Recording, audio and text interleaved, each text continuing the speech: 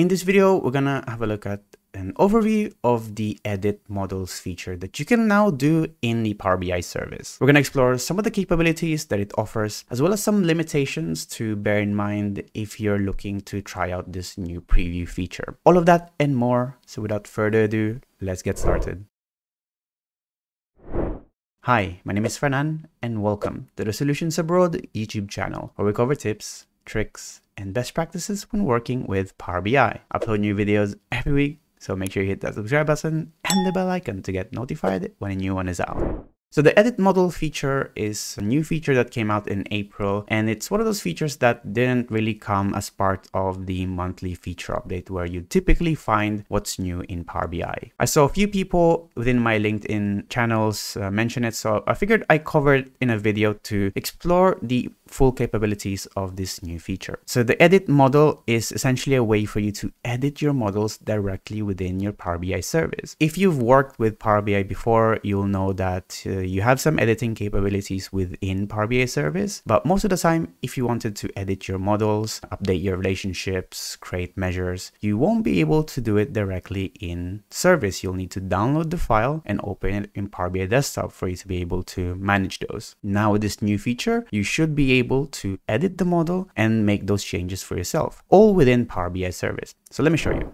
So let's do a quick recap of what the edit uh, feature is in Power BI. So we're gonna have a look at one of my reports here and I'm gonna open a, let's say this one and this is a report that I built for a community challenge. And uh, from here, and as you can see, because I am the owner of this report, I have this option for me available, the edit button. Now, if you click the edit button, you will see that uh, you will have, you know, different controls as you normally would if you're working with Power BI desktop. So you can edit things like your report pages, your visuals. Um, you can even have access to your data to drag them in, create some new visuals or create some new pages. But what you'll notice is that you don't have access to things like uh, being able to create new measures. You won't this you won't be able to do it here. You can't interact with your data model the same way that you would do in Power BI desktop. So creating new measures or creating you know different tables. But now with this new edit models feature, you will have this option, open data model, which will open up the model for us. So I'm not gonna click it there yet and I want to show you first how to enable it. So at the moment it's a preview feature so it's by default turned off so you'll need to toggle this uh, manually. You'll find the option first to enable it under your workspace under settings under advanced options here. If you scroll down, you will see a new option, data model settings. It says um, users can edit data models in the Power BI service. So once you tick that and hit save, you should be pretty much good to go. As you can see, as you saw from the edit within your report, you can hit open model, but you can also open it in different ways. So for example, you might go to your dataset. So if you have the iPhone reviews here, you can go to the more options and you will have the option open data model. You also have that option in the dataset view itself. So if you open up the, the data dataset, you will have this option open data model here in the ribbon. If you click that, it will look something like this. So here we are in the model view in the Power BI service. So let's have a look and see what is available for us here. So as you can see, um, you have the model view, which gives you a view of all your different tables uh, within your model. You can uh, edit the relationships from here. So you can see like our model. If you double click on the relationships, you have this option to update your relationships, which is great. You can create different uh, layouts, which you can also do in, in Power BI Desktop. It's if you wanted to, to have a look at a few tables only, you can do it here. Now, what's interesting is that um, your layouts won't be saved. So you can create the layout here, uh, but once you close this uh, window, this won't be saved. So when you open the data model again, uh, this layout, even though you've created them, it, it, won't it won't be saved. Another thing to take a note of is that any changes that you make to your model right here will be automatically saved. So there's no undo button. Um, so uh, unlike in Power BI desktop. So just keep that in mind if you're updating your models here in the Power BI service. There are a few things that you will not be able to see here. So for example, uh, at the moment we're looking at the model view, but there's no way for you to preview the actual data view, which is the, the table view of your data, which is pretty handy if you wanted to know what, what data is in your tables, for example. But you don't have the ability to do that in this view.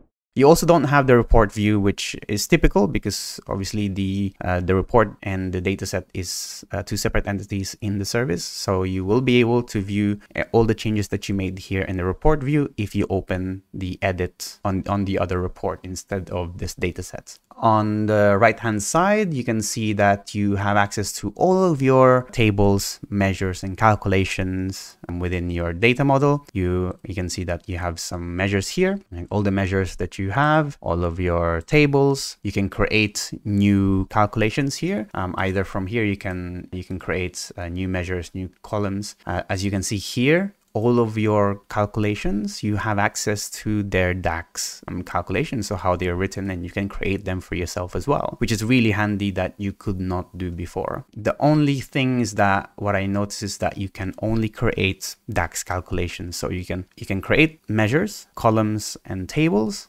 as you have here as options on the top left, but you can't create, let's say, a empty table that is not DAX for, let's say, creating a measure table, for example, you can't do that. Uh, you have some other options here. You're able to update the properties of your values. So if you needed to, to update the calculations like your, your measures, you can update how they're grouped, uh, different values like you like you normally would in Power BI desktop. You also have a few other options here, like being able to manage the row level security directly here. So you can uh, define your security roles, create the filters, and then assign them later in, in Power BI service. If you don't know what RLS is, I did cover it already in a previous video, so have a look if you haven't yet you can also create new reports uh, on top of this dataset, which you could already do anyway. Let's have a try one interesting thing that I saw is when you create a new measure. So I'm just going to create a new measure here and I'm going to create a, a fake measure error. And I'm going to say for this measure, I want it to be 1 plus a. Now, if you create a measure like this, you're adding up, you know, two different values that have uh, different data types. It will usually result result in an error. So it will show like a little alert, but in, in this preview, it doesn't, which is a little bit alarming because it means that you you don't really have a way to validate your measures if they are working or not unless you start using them in the report view. Because every change that you make here auto saves. That means that if you open up your report view for that same report, your measure that you've just created should be automatically available within your report view to use. So I'm going to open up the same report, except we're going to go to the report view now and I'm going to hit edit and then I'm going to create a new page here. And uh, let's have a look at the measure that I've just created. I think I just named it error, right? Yeah, so you'll see that now that measure is available to us.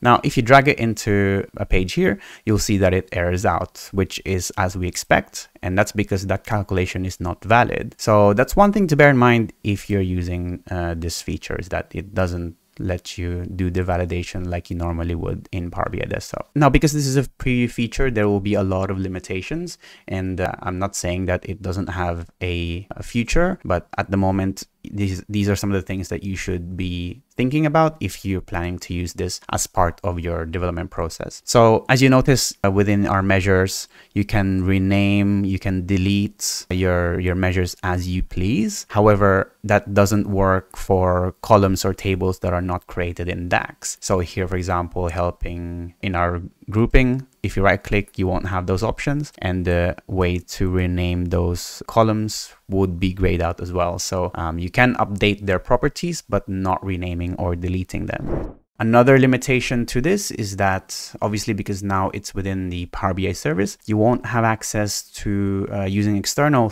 tools like DAX Studio or Tabular Editor, which are quite key components that speeds up your development process, or it just simply gives you more access to the data model, like you know, object level uh, security or other properties that are not on the front end side of Power BI. Accessibility is also a little bit limited. So for example, if you're used to using keyboard shortcuts or, you know, tab orderings or, or tab navigation that is not available within the uh, this view. It also doesn't support all types of datasets. So if you have datasets that are, let's say, using incremental refresh or any datasets that have uh, live connections, you won't be able to use the open uh, model feature like I am doing right now.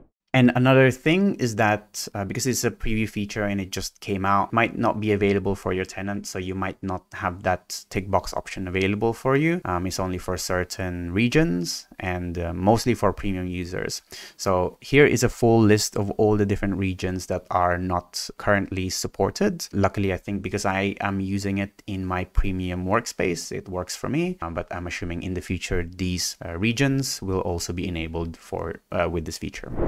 There are lots of limitations and it sounds like this video is a bit of a downer, but the reason why I'm covering this is because it, the potential that it could do and change how you develop uh, Power BI reports. Now that you are able to edit models within your service, that means that as this feature progresses and matures, the more capabilities that uh, you will have in the service, which might give an alternative for report developers to make reports directly within the Power BI service, as opposed to using Power BI Desktop, which is a, a great feature from my perspective perspective. There are other limitations and other features that I might not have covered in this video. So I'll leave a link to the full blog posts uh, outlining everything that is uh, available in this feature in the description box below. So have a read to see what else is there and if you're interested in trying it out.